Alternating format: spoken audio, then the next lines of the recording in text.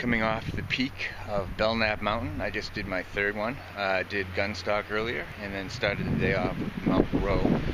And uh, it was too windy at the top, so I figured I would try to shoot some video on the way down. I just came upon this spot, making my way down here. We have uh, Gunstocks over that side, and uh, is way up there. Uh, you can see that little tower.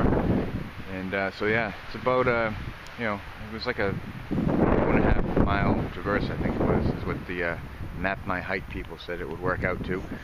But uh, yeah, pretty cool. Got um, Mount Washington there in the background. And uh, there's a few other snow-capped peaks out there too. I don't know which ones those are, but um, yeah, pretty cool. Uh, just checking stuff out here and zoom out a little bit. You get, uh, you know, whole lakes region up here, Winnipesaukee and all that fun stuff. So uh, yeah, awesome day.